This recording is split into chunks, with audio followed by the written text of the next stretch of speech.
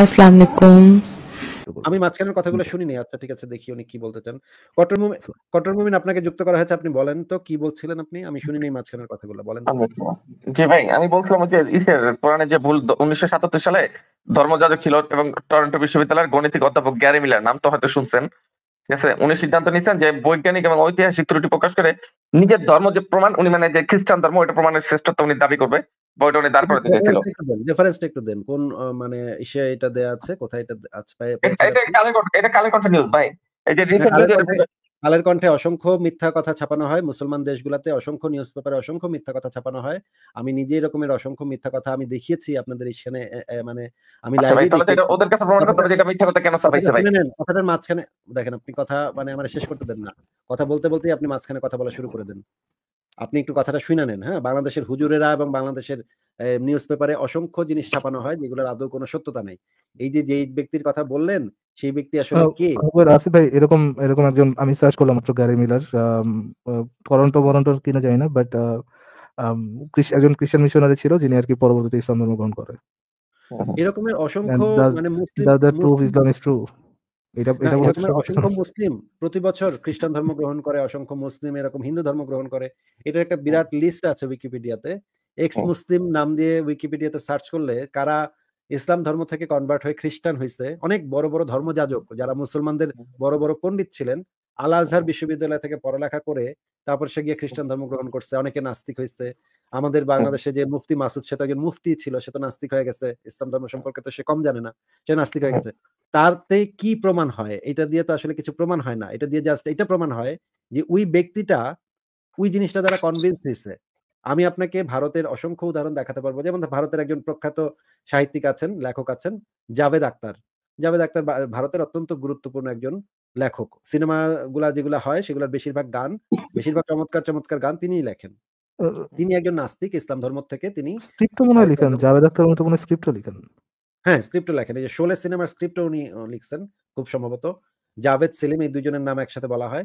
উনি একজন নাস্তিক, উনি ইসলাম ধর্মকে ত্যাগ করছেন। শাবানা আজমি একজন নাস্তিক, কমল হাসান একজন নাস্তিক, এরকমের অসংখ্য মানুষ ভারতে আছে যারা হচ্ছে নাস্তিক, যারা ইসলাম ধর্মটাকে ত্যাগ করছে। ইন্দোনেশিয়াতে একজন একজন মহিলা আছেন যিনি অত্যন্ত সম্ভ্রান্ত একটা মুসলিম পরিবারে জন্মগ্রহণ করে হিন্দু ধর্মে কনভার্ট হয়েছে এই ভারতে এরকম অসংখ্য নার্গিস মানে সঞ্জয় দত্তের মা নার্গিস, সে হিন্দু ধর্মে কনভার্ট হয়েছিল কিন্তু তাতে কি তাতে কি প্রমাণ হইল? তাতে প্রমাণ হইল যে ওই ব্যক্তিটা ওই ধর্মটা দ্বারা কনভিন্সড হয়েছে কোনো না কোনো ভাবে কনভিন্সড হয়েছে কিন্তু ওই ব্যক্তিটা কোন যুক্তি দিয়ে কনভিন্স হয়েছে সেই যুক্তিটা যদি আপনি আমাদেরকে দেখাতে পারেন এবং যুক্তিটা যদি ভ্যালিড হয় তাহলে আপনার কথা অবশ্যই আমরা মেনে নেব। কিন্তু কোন কে কি করছে এটা তো অর্থহীন অর্থ আচ্ছা। আচ্ছা আচ্ছা ভাই আমি যুক্তি রেখে দিই। একটু শেষ করি ভাই কথাটা একটু শেষ করি। অনেক মানুষ আছে যারা রাতের বেলা ঘুমে হয়তো কৃষ্ণের স্বপ্ন দেখছে ঘুমের থেকে ওইটা মুসলমান থেকে হিন্দু হয়ে গেছে। এরকম হওয়া সম্ভব হ্যাঁ? মনে মানুষের মনে কি কি হয় কি কি কারণে একজন মানুষ কনভিন্স হয় একটা বিষয়? এই ধর্ম বিষয়টা তো কনভিন্স হওয়ার বিষয় তাই না? একটা ধর্মতে বিশ্বাসটা মনের ভিতরে চলে আসতে পারে একজন মানুষের মধ্যে।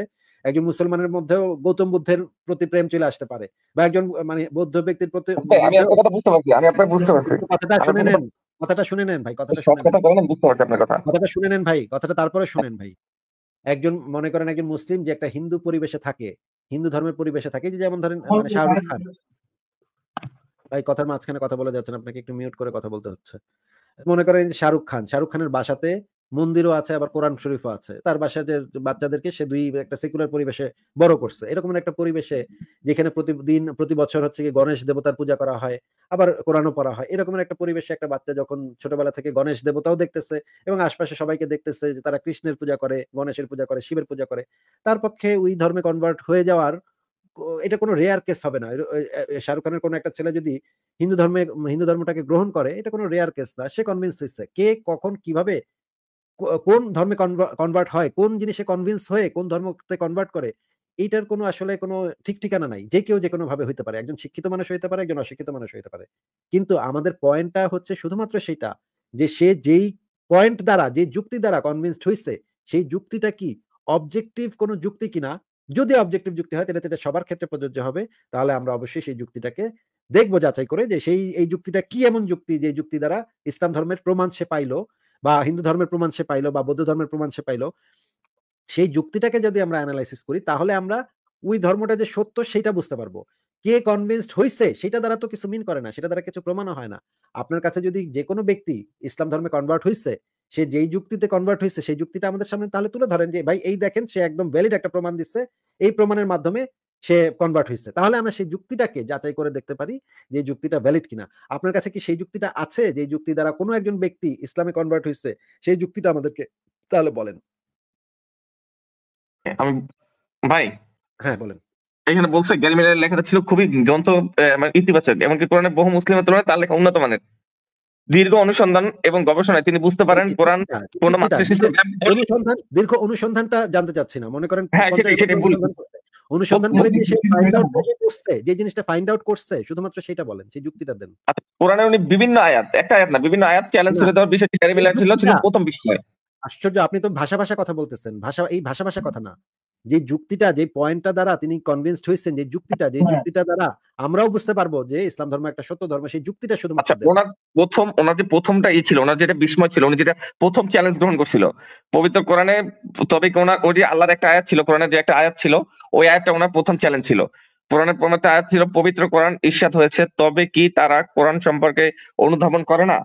এটি যদি আল্লাহ ছাড়া অন্য কারও পক্ষে আসতো তবে তারা তাতে বহু অসঙ্গতি খুঁজে পেত। সুরা নিসা আয়াত বিরাশি নাম্বার। না বুঝলাম না বুঝলাম না বুঝলাম না কথা কথাটা বুঝলাম না। মানে এই এরা গ্যারি মিলারের জন্য এই আয়াতটা ছিল সবচেয়ে প্রথম চ্যালেঞ্জ তার। এই চ্যালেঞ্জটা সে প্রথম খন্ডাতে চেয়েছিল। এটা এটা দেখতে হলে তো আমাদের কোরআনের আয়াতে কি কি বৈপরীত্য আছে সেগুলো সব অ্যানালাইসিস করতে হবে। এখানে কি বলছে কোরআন? সেটা বলতে দেবে ভাই বলি আমি। গ্যারি মিলার কোন ভাইরে ভাইরে আচ্ছা রতন উনি যুক্ত হয়ে গেলেন কীভাবে বুঝলাম না। আহ, কট্টর মুমিন ভাই আপনি হ্যাঁ। আমাদেরকে এমন একটা অবজেক্টিভ এভিডেন্স দেখান। অবজেক্টিভ এভিডেন্স দেখান যেটা দ্বারা আমরা বুঝতে পারব কোরআনের যে বক্তব্য সেগুলো সব সত্য কথা। আপনি তো। একটা বই থেকে পইরা পইরা আমাদেরকে শুনাইতেছেন। আপনি আমাদেরকে- তো বলছে উনি কীভাবে হয়েছে সেটা বলব না আমি? উনি কি আপনি জানতে চাচ্ছেন না সেটা আমি জানতে চাচ্ছি না। কথা কি জানতে চাচ্ছেন? আপনি? কি জানতে চাচ্ছেন? আপনি তো প্রশ্নই বোঝেন নাই। নাম বুঝা দিলে কেন উত্তর দিচ্ছেন? আপনি কি জানতে আপনি বলছেন না যে কোন উনি নিতে পাগল নাম এক্কেরে মানে মানে লোয়ার লেভেলের মুমিন এক্কেরে লোয়ার লেভেলের মুমিন এক্কেরে গরু লেভেলের মুমিন তো। আপনাকে জিজ্ঞেস করছি যে অবজেক্টিভ প্রমাণটা আছে বা যে অবজেক্টিভ যুক্তিটা আছে, সেই যুক্তিটা সে যেই করুক না কেন, সে যেই জিনিস যেই ব্যক্তি সেটা বের বের করে থাকুক না কেন, যেই ব্যক্তি সেই বইটা পড়ে সেই জিনিসটা বের করে থাকুক না কেন সেটা জানতে চাচ্ছি না। জানতে চাচ্ছি যে সেই অবজেক্টিভ যুক্তিটা আছে, যে যুক্তিটা দ্বারা বুঝতে পারব কোরআনের যে বক্তব্য, সেটা একদম সঠিক বক্তব্য। সেই এই যে আপনি যে বললেন, কোরআনে লেখা আছে, তারা কি ভেবে দেখে না? অমুক তমুক তমুক। এই টাইপের কথা তো যে কেউ বলতে পারে। এই কথাটা দ্বারা কীভাবে বোঝা যাবে যে এটা শুধুমাত্র, এই কথাটা শুধুমাত্র আল্লাহ পাক লিখতে পারে, আর কেউ লিখতে পারে না? এইটা সে কীভাবে বুঝলো বা এইটা কীভাবে প্রমাণ করে যে এই কথাটা শুধুমাত্র আল্লাহ পাকের কাছ থেকে আসতে পারে সেই জিনিসটা আমাদেরকে দিবেন সেই অবজেক্টিভ যুক্তিটা আমাদেরকে দিবেন। বলেন। কথা বলতেছি আপনি আমার সাথে কথা আমার কথা শুনতেছেন না? আপনি বরং কথা বলতেছেন আমার একটু বলতে দেন। আমি প্রায় পাঁচটা মিনিট সময় নিব। না আবার আবার মিউট করে রাখতেছি। আপনাকে যেটা বলতে বলেছি যদি শুধুমাত্র সেটা যদি না বলে অন্য কোনো কথা বলেন বা অন্য কোনো বই থেকে পড়ে শোনান আমি তো আপনাকে বলেছি যে এগুলো আমার শোনার টাইম নাই। আমি শুধুমাত্র যুক্তি আছে কিনা শুধুমাত্র সেইটুকু শুনতে চাই। আপনার কাছে যদি সেই বইটা পড়ে আপনি যে যুক্তিগুলা পাইছেন সেই ব্যক্তির নাম উল্লেখ না করে যে যুক্তিটা পাইছেন সেই যুক্তিটা আমাদেরকে দেন এবং এই যুক্তিটা দ্বারা কীভাবে আল্লাহ আছে আল্লাহ কোরআন পাঠাইছে সেটা প্রমাণ হয় সেটা বলেন। এছাড়া আর কোনো কথা শুনতে চাচ্ছি না বলেন। তুমি বুঝাও তুমি বুঝাও। ভাই কথা বলেন সাথে বলো। তুমি বুঝাও। হ্যাঁ বলেন। হ্যাঁ হ্যাঁ আরেকজন আসছেন সেটা আপনি বলতে পারেন বলেন। জি আসলে আমি অনেকক্ষণ ধরে শুনতেছি তো। তার কথা আপনারা হয়তো বুঝতেছেন না বা সে আপনাদের আপনারা কি কোন জিনিসটা স্পেসিফিক চাচ্ছেন তার কাছ থেকে কোনো প্রশ্ন? সেটাও সে বুঝতেছে না। তার কথা হলো যে এই যে গেরি মিলারের কথা বলতেছে উনি যে আরেকবার বলছি ভাই গ্যারি মিলার হোক বা মেরি মিলার হোক তা দিয়ে কিছু হ্যাঁ। যায় আসে না। সেটা যেই ব্যক্তি হোক না কেন সে যে হ্যাঁ। যুক্তিটা দিয়েছে ভাই একটু ঠান্ডা মাথায় আমার প্রশ্নটা শুনে তারপর আপনি উত্তর দিয়েন হ্যাঁ? সে যে যুক্তিটা দিয়েছে মনে করেন Newton F is equal to M A এই একটা সূত্র দিচ্ছে আমাদেরকে তাই না? হুম, হুম, ভাই বা ধরেন পিথাগোরাস নামক একজন প্রাচীন আহ, আহ, মানে প্রাচীনকালের একজন প্রাচীন গ্রিসের একজন ইয়া তিনি A square plus B square is equal to C square এই পিথাগোরাসের সূত্র হিসেবে যেটা পরিচিত সেইটা প্রমাণ করে দিয়েছেন। এটা তো শুনেছেন নাকি ভাই? স্কুলে তো পড়েছেন নাকি? হ্যাঁ হ্যাঁ শুনেছি ভাই। এইটা এই যে এই পিথাগোরাসের সূত্রটা তো মানুষের আহ, মানে বিশ্বাসের উপর নির্ভরশীল না তাই না? না না। এটা তো একজন হিন্দু ব্যক্তিও যদি ক্যালকুলেট করে তাহলে সেও যেই ডেটা পাবে একজন মুসলিম হিসাব করলে সেও একই পাবে। একজন সাদা চামড়ার মানুষ হিসাব করলে সেও একই পাবে। একজন কালো চামড়ার মানুষ হিসাব করলে সেও একই পাবে। মানে এটা হচ্ছে একটা অবজেক্টিভ প্রমাণ তাই না ভাই? হ্যাঁ হ্যাঁ। মানে আমি আপনার কাছে যে জিনিসটা জান- বা ধরেন পানির অণুকে ভাঙলে হাইড্রোজেন এবং অক্সিজেন পাওয়া যায়। এটা হচ্ছে একটা অবজেক্টিভ প্রমাণ। এটা কারও বিশ্বাস অবিশ্বাসের উপর নির্ভরশীল না। মানে আপনি মনে করেন বিশ্বাস করতেছেন বা করতেছেন না তা দিয়ে কিছু যায় আসে না। আপনি মুসলমান না হিন্দু নাকি আপনি খাটো নাকি লম্বা নাকি আপনি সাদা চামড়ার মানুষ নাকি কালো চামড়ার মানুষ আপনি নারী নাকি পুরুষ এগুলা কোনো কিছু দিয়ে কিছু যায় আসে না। আপনি যদি পরীক্ষাটা ঠিকভাবে করতে পারেন পানির অণুকে ভাঙলে আপনি হাইড্রোজেন পাইবেন এবং অক্সিজেন পাইবেন। এইটা যে কোনো মানুষ যে কোনো জায়গায় পরীক্ষা করে দেখতে পারে একই রেজাল্ট পাবে। নাকি ভাই? জি জি। এটার তো কোনো মানে ব্যত্যয় ঘটবে না এটার তো কোনো অন্য কিছু ঘটবে না। মানে মনে করেন কার্বন ডাইঅক্সাইড তো পাবে না পানির অণুকে ভাঙলে কেউ একজন। পাবে ভাই? না। তাহলে আমি চাচ্ছি যে এই কথাটা যেই বলুক না কেন। এই রকমের একটা অবজেক্টিভ এভিডেন্স আমাদেরকে দেখান তাহলে যে কোরআনটা আল্লাহ পাকি পাঠাইছে এবং কোরআনের ভিতরে যে কথাগুলো আছে সেগুলো অবজেক্টিভলি প্রমাণ করা যায়। বিশ্বাসের উপর নির্ভরশীল না কারও কেউ বিশ্বাস করতেছে এই কারণে এটা সত্য এটা না। এটা হবে অবজেক্টিভ এরকম কি কোনো প্রমাণ এই যে যার কথা আপনি বলছেন সে কি দিয়েছে? দিয়ে থাকলে সেই অবজেক্টিভ প্রমাণটা শুধু দেন। না সে এরকম কোনো প্রমাণ দেয় নাই। সেও ধরেন সে সুরা নিসার একটা আয়াত উল্লেখ করছে। আচ্ছা। নিসার বিরাশি নম্বর আয়াতটা উল্লেখ করছে আচ্ছা সূরা নিসার বিরাশি নম্বর আয়াতটা উল্লেখ করে তিনি কি যুক্তিটা দিয়েছেন? যুক্তিটা শুনি। মানে এটা পরে উনি বিস্মিত হয়েছেন যে এটা বিস্মিত তো বিস্মিত তো বিস্মিত তো যে কেউ যে কোনো জিনিস নিয়ে বিস্মিত হতে পারে। আমিও তো যখন প্রথম বাইবেল পড়ছিলাম বিস্মিত হয়েছিলাম যে এরকম বেকুবের মতো কথা কেউ কেমনে লিখতে পারে? কি বেকুবের মতো কথাবার্তা লেখা রাখছে? আমিও তো কোরআন করে অনেক বিস্মিত হয়েছি যে কি বোকার মতো কথা নোংরা নোংরা কথা বলা আছে। সুরা তওবা যখন আমি পড়েছি তখন তো আমিও বিস্মিত হয়েছি যে আল্লাহর ম- আল্লাহ পাক কীভাবে এই ধরনের মানে মানে নোংরা কথাবার্তা লিখতে পারে সাম্প্রদায়িক কথাবার্তা লিখতে পারে। জাকির নাকের কথা শুনে আমিও বিস্মিত হয়েছিলাম। পরে মিলা দেখছি শালা পুরোটাই ভণ্ড। এই বিস্মিত হয়েছে এইটা হচ্ছে আপনার যুক্তি নাকি? এটা আপনার পয়েন্ট বিস্মিত হয়েছে এটা হচ্ছে একজন অমুসলিম কোরআন পড়া কোরআনের একটা আয়াত পরে বিস্মিত হয়েছে এই কারণে কোরআন সত্য নাকি? উনি কোনো অসঙ্গতি খুঁজে পায় নাই। উনি পায় নাই উনি না পাইলে আপনার ধর্ম সত্য এটা কীভাবে প্রমাণ হয় রে ভাই? আপনার ধর্ম ঈশ্বর থেকে আসে এটা কীভাবে প্রমাণ হয়? মানে কেউ একজন আপনার মানে কেউ একজন কোন একজন অমুসলিম আপনার ধর্মকে সত্য মনে করলে কি আপনার ধর্ম সত্য এরকম এরকম কিছু?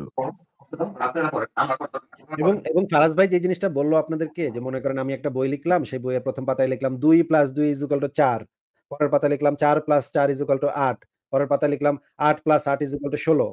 এভাবে প্রত্যেকটা পাতায় এক একটা করে যোগ অঙ্ক বিয়োগ অঙ্ক করলাম। বা একটা পাঁচশো পেজের একটা বই লিখলাম এরকম। এই বইয়ে কেউ অসঙ্গতি বের করে দেখাইতে পারবে না। কোনো বাপের বেটার সাধ্য নাই। কারণ একদম সিম্পল যোগ বিয়োগের অঙ্ক এখানে কোনো অসঙ্গতি থাকার সম্ভাবনাই নাই। তাহলে কি এটা প্রমাণ হবে? যে যেহেতু এই বইয়ে কোনো অসঙ্গতি নাই সেটা আল্লাহ পাক লিখছে এটা কি প্রমাণ হবে ভাই? কট্টর মুমিন ভাই আপনি কি শুনতেছেন কথা? জি জি শুনতেছি ভাই বলেন। এবং সেই বইয়ের শেষ পাতায় যদি আমি লিখি যে আল্লাহ পাক গতকাল রাত্রে পাতলা পায়খানা হয়ে মারা গেছে তাহলে যেহেতু বইয়ের অন্য অংশগুলোতে কোনো অসঙ্গতি নেই তাহলে তো শেষ লাইনটাও সত্যই হবে। তার মানে কি আমরা ধরে নিব যে আল্লাহ পাক গতকাল রাত্রে পাতলা পায়খানা হয়ে মারা গেছে? এটা কি আমরা ধরে নিতে পারি? না না ভাই। তাহলে এই যে অসঙ্গতি নাই এটা দ্বারা কীভাবে প্রুভ হয় যে এটা আল্লাহ পাঠাইছে? তাহলে তো আমার ওই বইটাও অসঙ্গতি নাই এটা দ্বারা প্রুভ হলো আল্লাহ পাক পাতলা পায়খানা হয়ে গতকাল রাতে মারা গেছে। এটা তো প্রুভ হয়ে গেল তাহলে।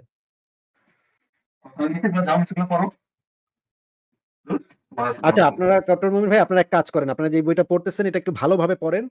ভালোভাবে পড়ে আপনি একটু আপনি একটু আমি ভাই সমস্ত ফালতু বই পড়ি না তো। আপনারা এগুলো আমি অনেক আগে পড়ে শেষ করি। এগুলো আপনারা যখন আপনারা আপনাদের আপনাদের যখন জন্ম হয়নি তার আগে আমি এগুলো পড়ে শেষ করে ফেলছি। আপনাদের যখন জন্ম হয় নাই আপনার বাবা মার যখন দেখা হয় এটা তো আপনার এটা তো আপনাদের পক্ষের যুক্তি। এটা তো আপনাদেরকেই পড়া উচিত বেটার করে যে হ্যাঁ যুক্তিটা কি? ওগুলো তো আমাদের কাছে রিজনেবল কোনো কিছু মনে হয় না। আপনার পরে এসে দেখেন যেহেতু আপনি জানাতে চাইছেন এটা অনেক যৌক্তিক প্রেফারেন্সেস থাকে ভাই। বইয়ের একটা প্রেফারেন্স বই পড়ার আগে পাঠকের মনে হইতো যে বইটা আসলে একটা অর্থিত আমার সময় নষ্ট করার আমার সময় দিয়ে পড়ার মতো একটা অর্থিত একটা বই। আসিফ ভাইয়ের কাছে মনে হয় না আপনার কাছে মনে হয়েছে। আমার কাছে আমার আমার কাছে মনে হয় না। কটন। আমার কাছে আমার কাছে শুনে না কটন ভাই শুনে নেন এই ধরনের বই আমার কাছে ওয়ার্থলেস বই মনে হয়। বাট আপনি যদি মনে করেন এটার মধ্যে কোনো একটা যুক্তি আছে ঠিক আছে? তাহলে আপনি পড়েন পড়ে এসে যদি যুক্তি থাকে তাহলে যুক্তিটা দেন। আপনার যুক্তিটা আমাকে ভেরিফাই করে দেখব যে যুক্তিটা যুক্তি এটা কোনো যুক্তি না। এটা কোনটা যুক্তি? আপনারা কি নিজেরা নিজেরা মারামারি শুরু করে দিলেন? কোনটা যুক্তি কোনটা যুক্তি এটা নিয়ে? ভাই আবার জিহাদ করতে শুরু করে দিয়েন না। জিহাদ করতে গেলে আবার সমস্যা হয়ে যাবে। একজন আরেকজনকে কাফের বইলে আবার মারামারি সবকিছু নিয়ে সবকিছু নিয়ে বলো করুন। আমার পক্ষে ন্যায় ভাই। বলো বলো গ্যারি মিলার করে আপনারা একটা যুক্তি দিতে আসেন। আপনাদের তো নিজেদের ওটা পড়া দরকার যে এটা বা বইটা রেকমেন্ড করতে আসেন। আপনাদের নিজেদের যদি এই অবস্থা থাকে যে ভাই বইয়ের পাঠক এরকম তাহলে বইয়ের উপরে ইন্টারেস্ট জাগবে কীভাবে? বা বইয়ের যুক্তি এরকম বইয়ের উপরে ইন্টারেস্ট জাগবে কীভাবে? বরং যদি আসলে যৌক্তিক হয় তাহলে ওটা আপনারা নিজেরা আরেকবার পড়েন পড়ে এসে যদি আসলে যৌক- যৌক্তিক কোনো কিছু পেয়ে থাকেন সেটা বলেন আমরা যাচাই করে দেখি যে এটা কতটুকু যৌক্তিক। হ্যাঁ, ফারাজ ভাই কিছুদিন আগে আমি দেখলাম যে দুই গ্রামের দুই দল লোক মারামারি করছে। মারামারির কারণটা কি? মারামারির কারণ হচ্ছে এক দল বলছে, নবীর পেশাব পায়খানা পবিত্র। আরেক দল বলছে, নবীর পেশাব পায়খানা অপবিত্র। এই নিয়ে দুই দলের ভিতরে গন্ডগোল, মারামারি, এক দল আরেক দলের কাফের টাফের বইলা একাকার করছে, ফতোয়া টতোয়া দিয়ে ফেলাইছে। এরপর লাঠি সোটা নিয়ে এক দল আরেক দলের মাথা ফাটাফাটি এবং মানে ষোলো জন হাসপাতালে মনে হয় দুই একজন মারাও গেছে মানে ফাটায় ফাটায় ফেলাইছে এক দল আরেক দলের। কাফের বাচ্চা বইলা ফাটায়। তুই আমার নবীর পেশাব পায়খানাটা পবিত্র কবি না কেন? আরেক দল কইতেছে ওই তুই পবিত্র কইলি কেন? হ্যাঁ এই নিয়ে দুই দলের মাথা ফাটাফাটি। ভাই আপনারা দয়া করে এই ধরনের মাথা ফাটাফাটি করবেন না। আপনারা মানে ইয়া ভাবে মানে ইয়া করেন। অন্ধবিশ্বাস নিয়ে মাথা ফাটাফাটির কিছু নাই। দুইটাই অন্ধবিশ্বাস যার যেই দুই পক্ষই অন্ধবিশ্বাস করতেছেন আপনারা হয়তো দেখা যাবে দুই পক্ষের একজনের কাছে কোনো প্রমাণ নাই কিন্তু মাথা ফাটাফাটি করে একাকার করতেছেন দুইজন। এই কাজ করেন না করেন আমাদেরকে আমাদেরকে অ্যাটলিস্ট অন্ধবিশ্বাস করতে বলেন না বা ওইটার আহ্বানটা অ্যাট লিস্ট করেন না আমরা ওটা করব না। আপনারা যদি ওটা পিছনে কোনো একটা যুক্তি পান, অবশ্যই যুক্তি নিয়ে আসেন। আর যদি যুক্তি না পান, তাহলে প্লিজ আমাদেরকে এসে বলেন না যে আপনাদেরকে যে এরকম অযৌক্তিক বানিয়ে গেছে যিনি, সেই সেই নবীকে নিয়ে কোনো ধরনের কটূক্তি করতে যে আপনারা ইয়ে করতেছেন রিকোয়েস্ট করতেছেন না করার জন্য, এই ধরনের রিকোয়েস্ট করেন না। আমার মনে হয় তাকে করা উচিত। তাকে যদি কটূক্তি করা হয় অ্যাটলিস্ট তারপরও আপনারা একটু রাগ হইলেও যুক্তি পড়া শুরু করবেন। তার কথাগুলো যুক্তি কিনা সেটা ভাবা শুরু করবেন। আচ্ছা আমার মনে হয় যে কট্টর মুমিন ভাই ওনা আপনাদের প্রস্তুতিটা আজকে ভালো ছিল না। আজকে যে আলোচনা করতে আসছেন আপনাদের প্রস্তুতিটা ভালো ছিল না। আপনারা আরেকটু প্রস্তুতি নেন বইটা আরও একটু ভালোভাবে পড়েন এবং কোরআন হাদিসও পড়েন সাথে। তারপর আপনারা একদিন আলোচনা করতে আসেন সেদিন আপনাদের সাথে আমরা ভালোভাবে আরও বিস্তারিত আলোচনা করব। কিন্তু আজকে আমার মনে হচ্ছে আপনাদের প্রস্তুতিটা ভালো না ভাই। ঠিক আছে? কট্টর মুমিন বলেন আপনাদের কি কিছু বলার আছে? বলেন। না ভাই ধন্যবাদ। উনি জানতে চাইছিল কোরআনের কোন ভুলটা আপনারা পাইছেন। কোরআনের অসংখ্য ভুল আমি আমরা পাইছি কিন্তু এখানে হ্যাঁ দেখাতে পারব অবশ্যই দেখাতে পারব। দেখাবো দেখাতে পারব ভাই একটু আমার কথাটা শুনে নেন। কিন্তু সমস্যাটা হচ্ছে যখন একজন মানুষ অন্ধবিশ্বাস করে মনে করেন একজন হিন্দু ব্যক্তি হিন্দু ধর্মে অন্ধবিশ্বাস করে তাকে কোনোভাবেই বোঝানো সম্ভব হয় না। আমরা আমাদের অভিজ্ঞতার মাধ্যমে দেখেছি যে যেই বাচ্চাটা মনে করেন একটা হিন্দু পরিবারে জন্মাইছে এবং ছোটবেলা থেকে হিন্দু পরিবেশে জন্মাইছে বা বড় হয়েছে বাবা মার কাছ থেকে হিন্দু ধর্মের গল্প গুজব শুনে শুনে বড় হয়েছে কৃষ্ণ, রাম তারপরে যে হনুমান, গণেশ, শিব এইগুলা গল্প শুনে শুনে বড় হয়েছে এবং অন্ধভাবে বিশ্বাস করছে। তাকে ভাই আমরা যতই প্রমাণ দেই না কেন, যতই বুঝাই না কেন, যতই দেখাই না কেন, সেদিন শেষে গিয়ে তারা, সে বলে, না ভাই, মানবো না, আপনার কথা মানি না। হ্যাঁ? এই জিনিসটা আমাদের অভিজ্ঞতার মাধ্যমে আমরা বারবার দেখেছি। কারণ অন্ধবিশ্বাস জিনিসটাই এরকম। মনে করেন একজন পীর সাহেবের অন্ধ মুরিদ যারা অন্ধভক্ত যারা, তাদেরকে আপনি কখনোই পীর সাহেব যদি এমন এমনকি মনে করেন ওই ভক্তের বউরে রেপ পর্যন্ত করে ফেলাইছে, তারপরে ওই অন্ধভক্তের কোনো হুঁশ নাই। এ বুঝে না, এ বুঝে না যে তার পীর সাহেব যে একজন ধর্ষক বা একজন বাটপার, এই জিনিসটা সে বুঝে না, সে তার মাথায় ঢুকে না এই জিনিসটা। কারণ অন্ধবিশ্বাস জিনিসটাই মানুষের মস্তিষ্কটাকে এমন ভাবে আক্রান্ত করে ফেলে যে তার কাছে কোনো যুক্তি আর তার ভিতরে ঢুকতে পারে না, তার মাথায় ঢুক, ঢোকেই না এই জিনিসগুলা হ্যাঁ? যুক্তি দেখানোর জন্য যে মিনিমাম যুক্তি বোঝার যে ইয়াটা থাকতে হয় আমার মনে হয় সেটাই আপনাদের ভিতরে একটু কমতি আছে হ্যাঁ? কারণ আমি একটু আগে দেখেছি, একটু আগে যে কট্টর মুমিন ভাইকে আমি একটা দলিল দেখালাম। দলিল দেখাবার পরে আমি জিজ্ঞেস করলাম যে, নবী তো মানে অন্য ধর্মের কটুক্তি করতো, সমালোচনা করতো। একটু পরে উনি বললেন যে, না, আমার নবী কখনো অন্যের অনুভূতিতে আঘাত দেয় নাই। তার মানে উনি ওনাকে যতই দলিল দেখাই না কেন, উনি ওনার অন্ধবিশ্বাস থেকে তো সরবে না। গোড়া ব্যক্তি, গোড়া অন্ধ বিশ্বাসী ব্যক্তিকে কখনো তার পজিশন থেকে সরানো যায় না। যতক্ষণ পর্যন্ত না সে নিজে এটা রিয়ালাইজ করে হ্যাঁ? এই কারণে আপনাকে আমি দেখাতে পারি কোরআন থেকে অনেক ভুল দেখাতে পারি বের করে কিন্তু আপনারা কি তো মানবেন না বা আপনারা তো এটা বুঝবেনও না বোঝার চেষ্টাও করবেন না তাহলে লাভ কি আপ- হ্যাঁ, আর যদি আর যদি ইয়ে করতে চান আর যদি আসলে জানতে চান কোনো কোনো ভুল আছে কিনা তাহলে আসিফ ভাইয়ের আহ, সংশয় ডট কমে ঢুকে আপনারা আমার রেকমেন্ডেশন হচ্ছে আপনারা ইয়ে করতে পারেন আসিফ ভাই আপনার একটু শুনুন আ আপনার ইয়ে নিয়ে লেখা আছে না আসিফ ভাই? যে সম্পত্তি বন্টন বন্টন ইয়েটা নিয়ে কি পদ্ধতি জানি? আজ আউল পদ্ধতি নিয়ে কোনো লেখা আউল পদ্ধতি। কিন্তু আপনি মানে সংশয়.com এ ঢুকে ইসলাম এবং বিজ্ঞান শিক্ষার দ্বন্দ্ব এই লেখাটা পুরোটা পড়তে পারেন। এরপরে পড়ার পরে যদি আপনাদের কোনো আর্গুমেন্ট থাকে, কোনো যুক্তি থাকে আপনারা এখানে এসে আলোচনা চালাতে পারেন। ওইটা এত বড় একটা লেখা যে এটা পুরাটা লেখাটা আলোচনা করাটা মুশকিল। আপনারা যদি ওই লেখাটা পড়ে একটা স্পেসিফিক বিষয় নিয়ে আলোচনা করতে আসেন, তখন আমরা সেই স্পেসিফিক বিষয়টা নিয়ে আলোচনা করতে পারি। ইসলাম এবং বিজ্ঞান শিক্ষার দ্বন্দ্ব এটা কত পৃষ্ঠায় আছে? ওটা আপনার সংশয়.com এ আছে না? হ্যাঁ, এটা সংশয়.com এ আপনারা পাবেন। আপনারা এটা গুগলে সার্চ করলেই আপনারা লিঙ্ক পেয়ে যাবেন। সার্চ করেন, পড়েন। পড়ার পরে যদি আপনাদের কোনো সমালোচনা থাকে বা কোনো দ্বিমত থাকে আপনারা আইসেন, কথা বললেন আমাদের দরজা তো উন্মুক্ত। আমরা তো এই লেখকদের মতো দরজা মানে লেখা বই লেখা মানে লুকায় যাই না। আমরা লেখার পরে আমরা আবার লাইভও করি। মা পাঠকদের যুক্তি শুনি, পাঠকদের ইয়া শুনি, সমালোচনা শুনি শুনি যে কি কার কি যুক্তি আছে শুনি। তারপরে আমরা সেগুলো নিয়ে দলিল সহ আলোচনা করি। আমাদের প্ল্যাটফর্মটাই এটাই ভাই। যুক্তি দিয়ে আলোচনা। হুম? আচ্ছা এ তো অনেক বিস্তারিত লিখছেন, অনেক কিছু লিখছেন। তো কিছু গুরুত্বপূর্ণ বিষয় আছে যেগুলো আসলে আ উ কোরআনকে চ্যালেঞ্জ করে। বিজ্ঞান কোরআনকে চ্যালেঞ্জ করে। এরকম কিছু ২ একটা টপিক যদি বলতেন, এই লেখাগুলো পড়ে আসতাম তাহলে। যেমন ধরেন আপনি যদি এই জিনিসটা পড়েন, কোরআনেও আছে, হাদিসেও আছে যে সূর্য রাতের বেলা আল্লাহর আরশের নিচে গিয়ে সিজদা করে এবং সারারাত সেখানে ইবাদত বন্দেগীতে ব্যস্ত থাকে এবং। সকালবেলা উঠে আল্লাহর কাছে উদিত হওয়ার অনুমতি প্রার্থনা করে। এটা আমি সংক্ষেপে বললাম আপনাকে। আপনি ওই আচ্ছা। লেখাটার ভিতরে জিনিসটা পাবেন। আমরা পৃথিবী এবং মহাবিশ্ব সম্পর্কে যেই ধারণা জানি বিজ্ঞান থেকে, সূর্য আসলে কোথাও যায় না। সূর্য আসলে মানে ঘুরতে থাকে কিন্তু কোথাও যায় না। হ্যাঁ? সূর্য পৃথিবী হচ্ছে গোলাকৃতি এবং পৃথিবীর ঘূর্ণনের কারণে সূর্যটাকে এই যে দিন এবং রাতের উদ্ভব ঘটে পৃথিবীর ঘূর্ণনের কারণে। হুম? একটা হচ্ছে আনহিক গতি আর একটা হচ্ছে বার্ষিক গতি। এই আনহিক গতির কারণে আমাদের দিন এবং রাত্রির উদ্ভব ঘটে। আমাদের জায়গা থেকে যখন রাত তখন আমাদের পৃথিবীর অপর সাইডে দিন, আবার অপর সাইডে যখন রাত তখন আমাদের সাইডে দিন। তার মানে সূর্য কখনোই আল্টিমেটলি কোথাও যাচ্ছে না। কিন্তু কোরআনে এবং হাদিসে কোরআনের সুরা কাহফের যদি আপনি ৮০ থেকে শুরু করে ৯২ নম্বর আয়াত পর্যন্ত পড়েন, সেখানে জুলকারনাইনের একটা ভ্রমণের কথা বলা আছে এবং একই সাথে মোহাম্মদের একটা হাদিসে কুৎসি এবং বুখারি মুসলিমের হাদিস আছে। একদম সহি হাদিস সেখানে বলা আছে মোহাম্মদ বলেছে সূর্য রাতের বেলা আল্লাহর আরশের নিচে গিয়ে সিজদা করে এবং ইবাদত বন্দেগীতে ব্যস্ত থাকে। সকালবেলা আল্লাহ কাছে উদিত হওয়ার জন্য প্রার্থনা করে। তখন আল্লাহ উদিত হওয়ার অনুমতি দিলে তখন সে উদিত হয়। এই কথাটা একদম স্পষ্টভাবে, খুব পরিষ্কারভাবে বর্ণনা করা আছে। এই জিনিসটা কিছুতেই, এই কোরআন এবং হাদিসের এই বক্তব্যগুলা কিছুতেই আমাদের যে বৈজ্ঞানিক যে জ্ঞান, সেটার সাথে মেলে না। কারণ ইসলামে, ইসলাম যে সময় আবির্ভূত হয়েছে, সেই সময় আসলে এরকমই ধারণা ছিল যে, ফ্ল্যাট আর্থ পৃথিবীর ধারণা ছিল। এবং সেই সময়ের মানুষেরা মনে করত সূর্য এই পাশ দিয়ে যায়, এই পাশ দিয়ে আসে।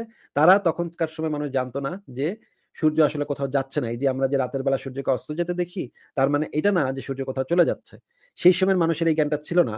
এই কারণে কোরআনে এবং বাইবেলে একই কথা চলে আসছে যে বাইবেলেও ইনফেক্ট বাইবেলেও একই কথাই বলা আছে যে এই জিনিস মানে সূর্য রাতের বেলা কোথাও চলে যায় আবার দিনের বেলা আবার আইসা পড়ে।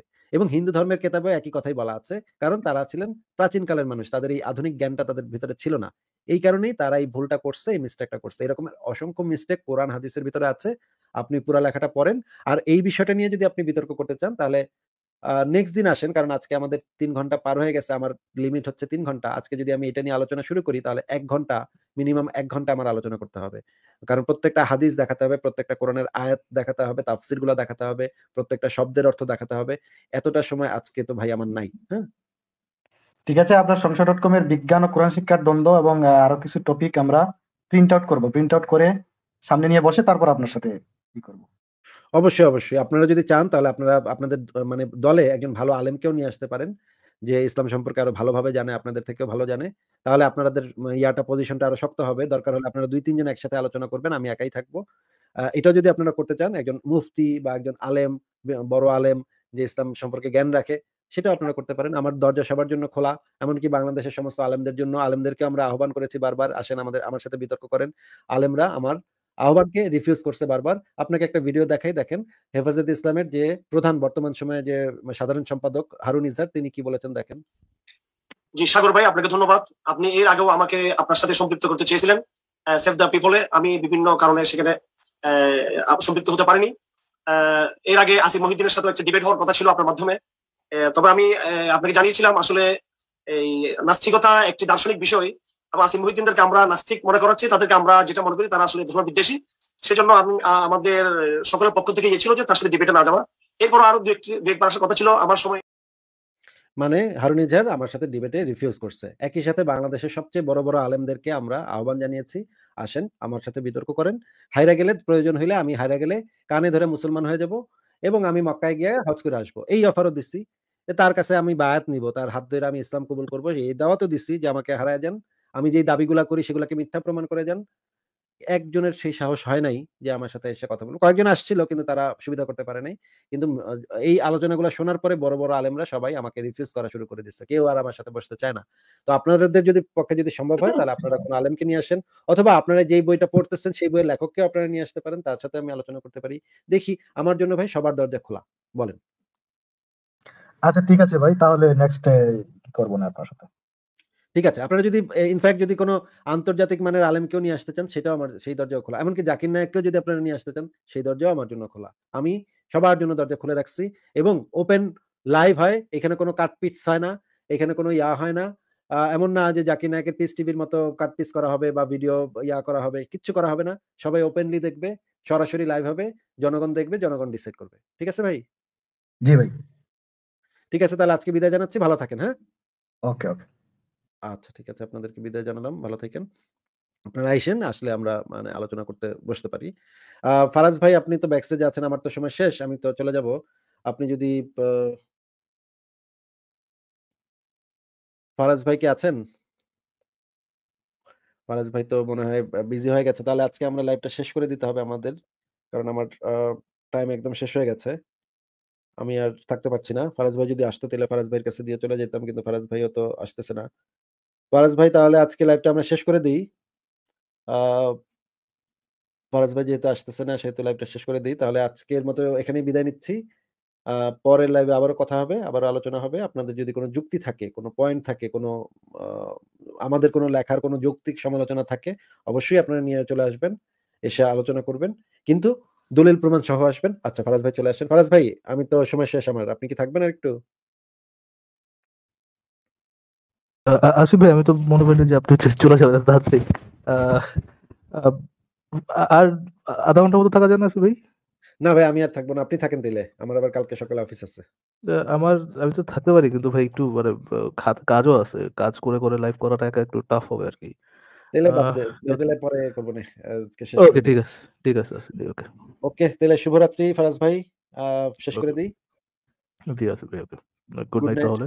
সবাইকে। আজকে শেষ করে দিচ্ছি।